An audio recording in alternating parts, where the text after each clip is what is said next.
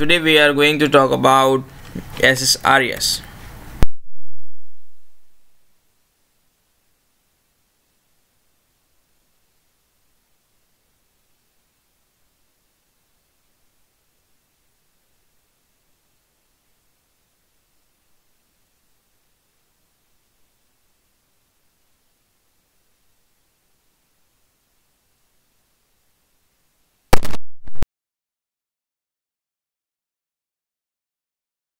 So this is one of the component of uh, MSBI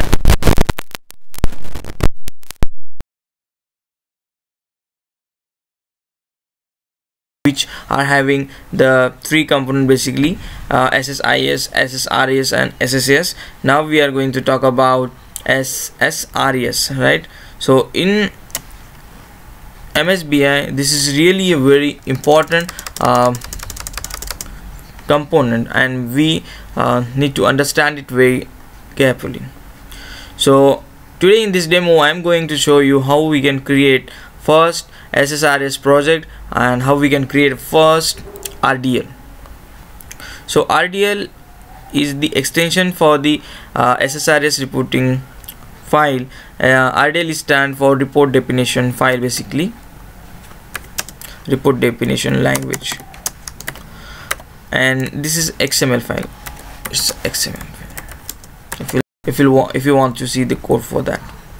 Okay now i'm going to show you how we can create the uh, reporting project. First of all search for the sql server data tool.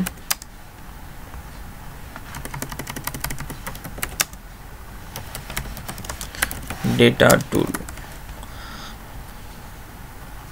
Okay and click double click on it when you will double click on it the uh, I, this kind of ID will be open. Basically this is the Visual Studio for the data tool. Okay. Then go to the file section. In the file section you will see different thing like a project a website team project another option. Just click on the project. When you click on the project you will get a one pop-up and that pop-up will show different kind of uh, business intelligence solutions like a uh, SSRS, uh, SSAS and SSRS and some other different kind of project which you can create in Visual Studio. Now this is uh, loading basically. So you will see here pop-up and that pop-up will have the different kind of project. Now we are going to select the SSRS project basically. So what so where we have to see it first of all. You will see the one template called as the business intelligence. In business intelligence go and select the reporting services. In the reporting services you will see two kind of project. The report server project wizard and the report server project. So i need and the empty project. So i am selecting report server project. If you want to change the name of your project you can change it. I'm giving it as the first ssrs you can also change the location of it. So then click on ok. When you will click on ok the empty ssrs project will be created. So you can see here the status like uh, creating project.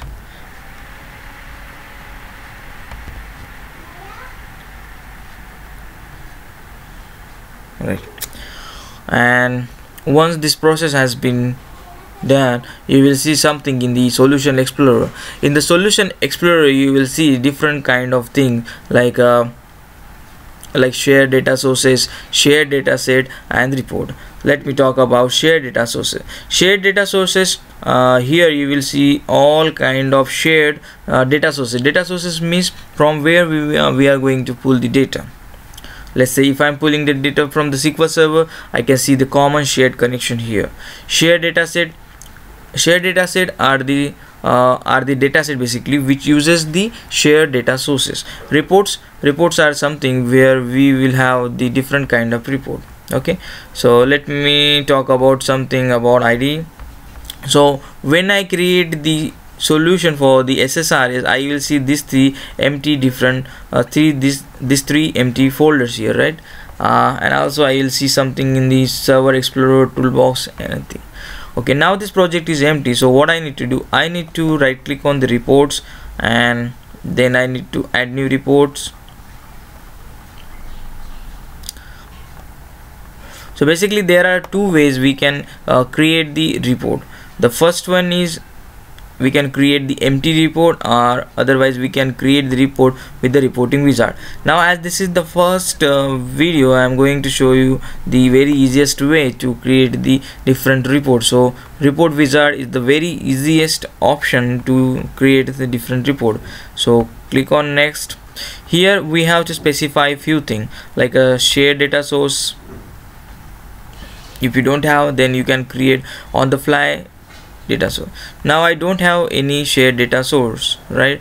So what i what i can do here is i can create one new data source for this report. Otherwise then i will show you how to create a shared data source. It's very simple. Add new data source. Right click on that. Give the name of first shared data source great. Then select the type of your server. Uh, it's a SQL server and connection string. Go to the edit. Here you need to pass your server name. Uh, right? When you click on this drop down you will see all different kind of servers and there you need to click on then select your database. It will show you all the different databases. I am selecting as the sql junction. Okay. Test connection. Connection succeeded. Click ok. Okay great. Now if you come here and if you see double click on it you will see uh, this connection has been credited uh, created successfully. Next is share data source. Add new data set you can ignore this tab basically. It's not required. You can right click on it and click on the new report. When you click on the new report you will see here the data source name. That's the first day shared data source which we just have created. Uh, then we okay then click on the next. Next we have to type the query. So i don't remember the query so I can I can create the query on the fly. Here. Okay okay okay.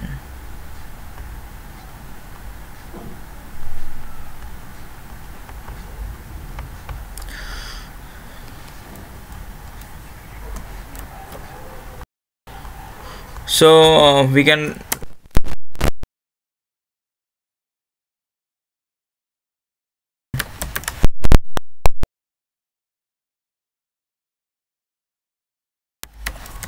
great. Uh, when I execute it okay and next this is the one query I just created. I can I can create basically two kind of report tabular and the matrix report. Uh, when we'll go for advanced advanced reporting we'll I will talk about matrix. Now I'm just talking about tabular to show you the tabular data. Then this is the column I have so where I want to see that column I want to see that column in detail section. I can just move it on. Then next this is the report one preview report. If you want to preview the report finish. So what will happen? So report one name of RDL and that RDL will be created and that RDL will have the structure like this. Let's wait.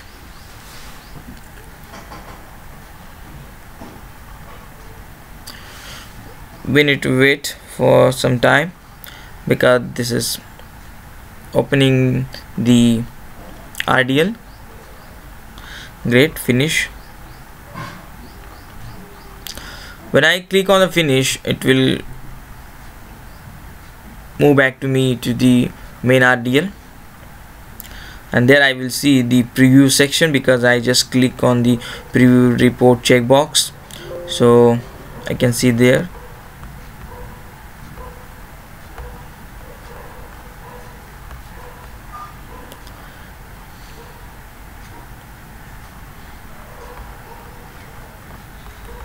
okay. So uh, we have just created RDL and that column and this is the RDL basically. Here it, we have the uh, column name as a dummy column. Here you can see the dummy column name right?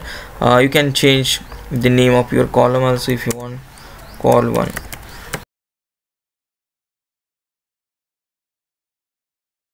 You can do anything with this. You can expand it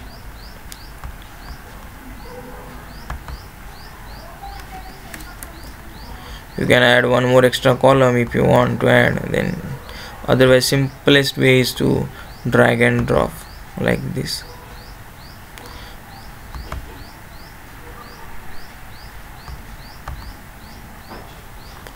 Great. And if you click on the preview section you will see here the different columns here and this kind of data like a dummy dummy column 1 dummy column 2 like this. So this is the best and simplest way to understand how I can start with the SSRS project where I can how I can create the shared data source where I can uh, create the dummy report. Okay. Now if you want to change the query you can change the query also. Now I am adding query like this. As a two dummy one one right? Uh, click on ok now when you'll come here you will see these two new columns has been added right? Now what i'm going to do i'm deleting entire report here. Now i want to add manually here. So how i could do that? So i want to drag a table then drag these columns here like this right? And i can if i go to and preview i will see the structure like this right? So this is the rdl this is empty rdl we have created how to change the data set we also seen how to create the shared data sources. Here if you'll come here you'll see the shared data sources. Uh, we'll talk about all these different section in the next video and uh, we'll understand more in detail. Don't worry if you didn't get anything about this uh, video but my intention was to uh, get you familiar with the SSRS hope you like and enjoyed our video and thanks for watching. Have a great day. If you like our video please don't forget to subscribe us. It will motivate us to uh, create more videos. Thank you